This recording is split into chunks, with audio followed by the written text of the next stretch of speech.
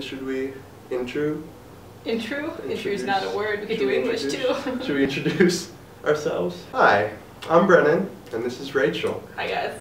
Today we're going to do science with Rachel. Okay, so I actually um, am studying science. He is not. He's studying fake science called psychology. Sorry, I was just saying my credibility for talking about science. So would you say I'm incredible? Yes.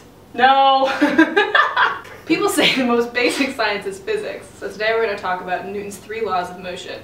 The first law of motion is known as the law of inertia. Is anything that is moving will continue to be moving, or anything that is at rest will continue to be at rest until acted upon by another object. The idea is in a vacuum like space, if you were to throw a ball, it would continue to move unless something else stopped it or acted upon it. Does that mean if you're in space and you're stopped and you start swimming, since there's no air, you won't move? You can't move yourself in space. I haven't been to space. I haven't. You're the scientist here, Rachel. I have not been to space. Let us know in the comments if you can swim in space. I should study astronomy again. you should. Is that astronomy? The stars say, I can swim. But that's astrology. Oh, see, this is, I'm a Gemini, in fact. Uh, me too. Wow. Gemini power. The um, process of swimming is your body pulling yourself through water. If you were to swim in air, there would have to be some kind of What do you need air? Because birds kind of swim. Birds swim in bird air. swim in a way. In a they way. move their wings to fly through the air. If you were in a vacuum, a complete vacuum with no air, Yes, I don't like think you could swim.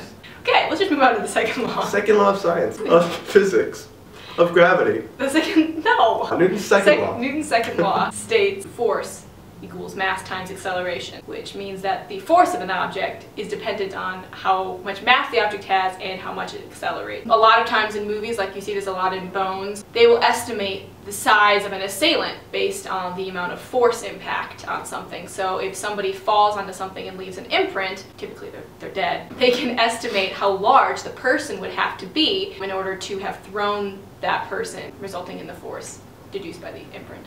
But how would they know how big the person pushing was? But what they do is they estimate based on the size of the space that they're in, um, how fast the person could accelerate to. Because you can only accelerate so much in a space. Like you cannot run from that end to that end and- and successfully accelerate Um, to uh, 25 miles an hour. Let's just say I can. Did you know that the average person can only run 5 miles an hour? I'm not average. I'm, I'm a scientist. Because you're a scientist, you can run 25 miles an hour. That's what you were telling So me. if I'm just, if I eat a lot Yes. and I go slowly, I accelerate slowly, I have a higher force. The- in comparison to what? Being normal weight. Being a normal If you were to be one mass and accelerate, say, say you're accelerating Let's one say we're mile accelerating one mile per hour. per hour, One mile. one mile more. If you were accelerating one mile per hour and you weighed a certain mass, that force would increase if you were to eat more food and then maybe accelerate at the same rate. Then, if I go on a diet, Yes. my force should stay the same if my acceleration is therefore gained. So if I lose a ton of weight, I can make it to one side of this room at 25 miles an hour. No. that is not science. So the third law. The third law is that is every action has an equal and opposite reaction. If you push on the wall with the force of 5 newtons, that wall is also pushing back on you with the force of 5 newtons. So how did he measure the Newton is my question. Did he take him and say, I am one Newton? so when he pushes on something, he has the force of one Newton. No, that's not how that works. Is the force of one Newton the mass times acceleration of a fig Newton?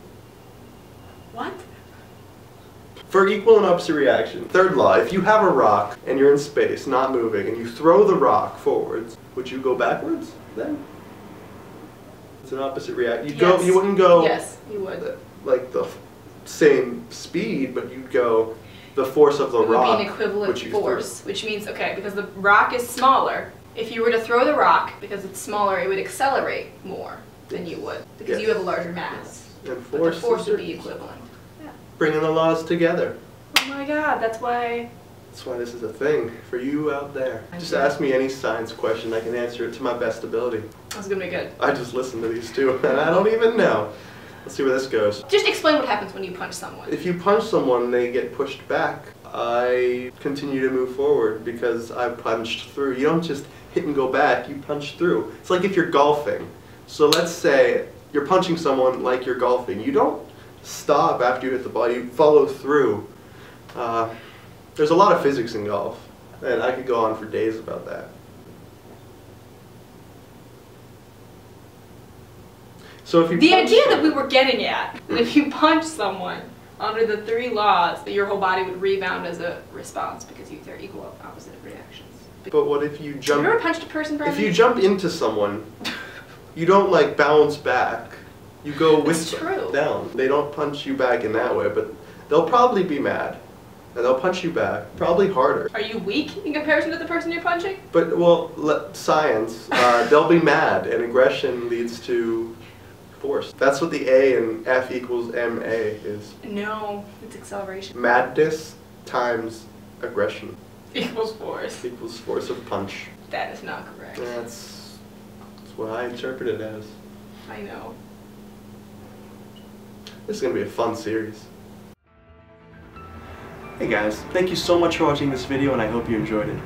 This is a new series where me and my friends are going to get together and talk about their areas of study and I'll see what happens from there. I'm going to go in blind and just talk about whatever they talk about. Uh, should be good and I hope you guys enjoy.